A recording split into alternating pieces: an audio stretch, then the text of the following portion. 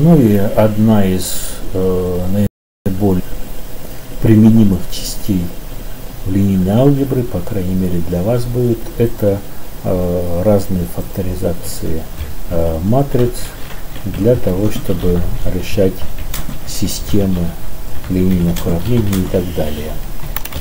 Подключим пакет линейной алгебры. Сначала загрузим его. Мы загружаем э, на случай, если он не установлен, естественно. Если у вас установлен, то э, ничего не происходит. То есть видите, no changes. Произвольная матрица 3 на 3, случайная матрица. Э, сгенерим матрицу x и э, сгенерим вектор b. Все как делалось у нас э, раньше. В результате мы э, при решении системы линейных уравнений должны получить x. LU факторизация. L это у нас нижняя треугольная матрица, U верхняя треугольная матрица. А на самом деле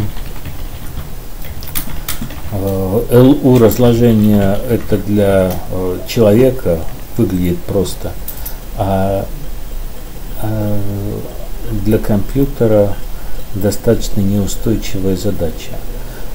Для того, чтобы задачу переформулировать в более устойчивом виде, а, делают э, факторизацию. То есть у нас еще добавляется матрица перестановок. Ну, естественно, все это вы вручную можете делать, написать программу, но в Java есть э, специальный оператор для получения функции э, LU матрицы. А получается, э, видите, некий э, набор данных. Это у нас э, структура такая, тип тип этого LU, LU так называется тип. И мы можем извлечь э, разные поля этого, этой структуры вот таким вот образом. Э, P это матрица перестановок, P маленькая это вектор перестановок, ну да, действительно, значит, э, тут 2, 2, 1, 3, да, так и есть. Вектор перестановок 2, 1, 3. L-матрица, она действительно э, low, lower, нижняя матрица треугольная и верхняя треугольная матрица. Э, вот мы считаем решение нашего уравнения с помощью э, исходных матриц А и Б. А теперь мы помощью нашей факторизованной матрицы э, получаем тот же самый ответ. Ну или определитель вычислим абсолютно одинаковый э, определитель получается. Э, другой тип э, факторизации это core факторизация. Э, core факторизация у нас э, для спектральной задачи то есть для поиска собственных векторов и собственных чисел матрицы. Q у нас это будет ортогональная матрица или в комплексном случае унитарная матрица. А R это э, верхнетреугольная матрица. Давайте посмотрим, как это происходит. Вот у нас такая вот структура получилась опять извлекаем объекты э, факторизации. Вот это у нас матрица ортогональная, а это у нас верхнетреугольная матрица. Ну, мы сразу э, хотим узнать, а действительно она ортогональная. Давайте проверим. Да, да, видим, что она ну, с определенной точностью. Мы понимаем, что считаем с определенной точностью, но в минус 16 степени числа на не на диагонали, а на главной диагонали единица, да, это ортогональная матрица. Ну и э, спектральное разложение матрицы. Э, матрица представляется А в виде э, В, лямбда В минус 1. Э, получается так, что лямбда это диагональная матрица собственных значений, а V это э, матрица собственных векторов. Ну, соответственно, V минус 1 это обратная матрица. Значит, э, вот давайте построим симметричную матрицу. Ну, симметризуем. По большому счету нужно было еще э, пополам поделить, но это уже мелочи. Итак, вот э, получили спектральное разложение симметричной матрицы. И вот у нас э, получили собственные значения и собственные вектора. Ну, давайте посчитаем. Да, действительно, у нас получается вот опять единичная матрица. Кроме того, э, вы э, будете встречаться э, с разными специфическими структурами матричными, в частности с разряженными матрицами. Кроме того, вам нужно будет учитывать, является ли матрица симметричной, антисимметричной и так далее. Вот давайте построим э, матрицу 1000 на 1000. Ну, маленькая достаточно матрица. Э, симметризуем ее и проверим, является ли она симметричной. Да, она является симметричной. И э, все операции симметричной матрицей ну, есть набор операций, которые работают с симметричной матрицей, и они более быстрые.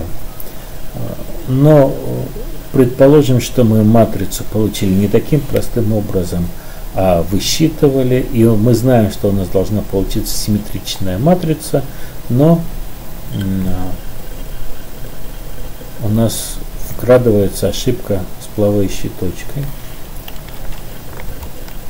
Вот мы добавили шума в симметричную нашу матрицу.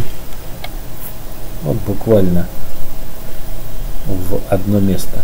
И видим, что она несимметричная. А мы знаем, что она симметричная, и там небольшой шум есть. И для того, чтобы э, более Э, оптимально происходит, происходили вычисления, мы объявим эту матрицу симметричной.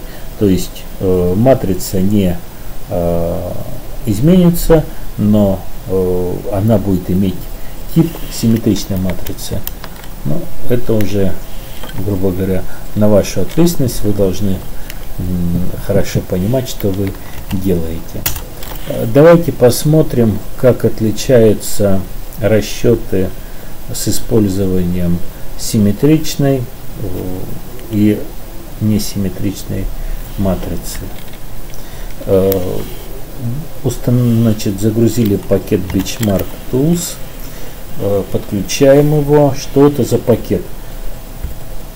Вы помните, что у нас есть макрос который считает время исполнения какой-то команды. Недостаток тот, что у нас э, Julia это JIT, то есть она э, компилится при первом запуске. Э, соответственно, для того, чтобы э, адекватно посчитать скорость выполнения, нам несколько раз нужно запустить. Э, Benchmark Tools у нас э, вводит оператор B-Time, и он за нас эту работу делает, многократно запускает нужную команду. Итак, э, мы взяли симметричную матрицу и э, пытаемся получить ее э, собственные значения, собственные вектора. Итак, у нас 68 миллисекунд. Зашумленная наша матрица. Давайте посчитаем.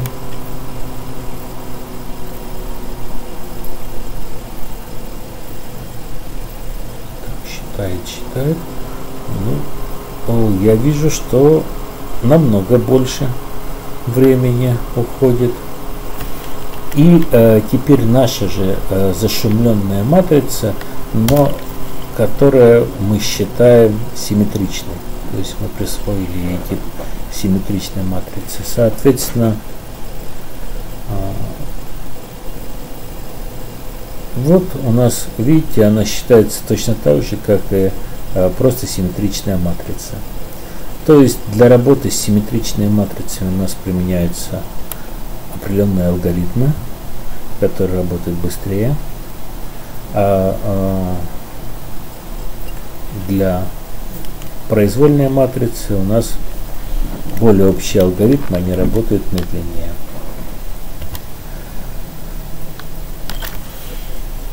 Теперь давайте посмотрим работу с разряженными матрицами. Э, разряженные матрицы это те, которые состоят по большей части из э, нулей. Итак, давайте мы построим матрицу достаточно э, приемлемую, миллион на миллион. Но эта матрица у нас трехдиагональная. И э, посмотрим задачу на собственные значения. Так вот она считается. Смотрим, за сколько она посчитается. Миллион на миллион матрица. Ну, 536 миллисекунд. 183 э, мегабайта э, затрачено ресурсов. Я хотел следующим пунктом э, сделать Э, из э, разряженной трехдиагональной матрицы обычную матрицу и потом э, то же самое посчитать с обычной матрицы и посмотреть, что получится. Вот я запустил, но, как вы видите, меня постигла неудача, потому что память на моем компьютере кончилась раньше, чем сгенерилась матрица миллион на миллион. Поэтому разряженные матрицы очень полезны. Вообще э, Джулия использует, э, может использовать внешние подпрограммы, ну, э, Лапак или Блас, ну, как NumPy для питона, э, который является тем же самым реализацией Лапака. Но э, там у нас ограничения, собственно, э, Лопак Блас работает с э, плавающей точкой 64-битной, 32-битной э, и с комплексными числами, соответственно. А если нам нужно какие-то хитрые э, числа, например, рациональные, ну, с рациональными точно не работает. И мы видим, что рациональные числа могут поддерживаться самой Джулией. То есть э, она э, имеет у себя тоже достаточно большой набор этих алгоритмов, и, и если нужно, она будет обращаться к внешним библиотекам, если не нужно, то э, будет работать сама. Значит, в Джулию прикомпиляется OpenBLAS, реализация Бласа. OpenBLAS. Там есть несколько возможных э, реализаций, которые можно установить. Но у нас тут и стандартный этот OpenBLAS. Ну вот видите, мы все то же самое, что делали LU разложения для рациональных. э, мы получили решение э, уравнения линейного, получили вот, поскольку рациональные числа округлять не надо, получили точные единицы и так далее. Тут видите, бикинт используется еще добавок. Ну и вот несколько простейших упражнений, э, которые вы можете выполнить.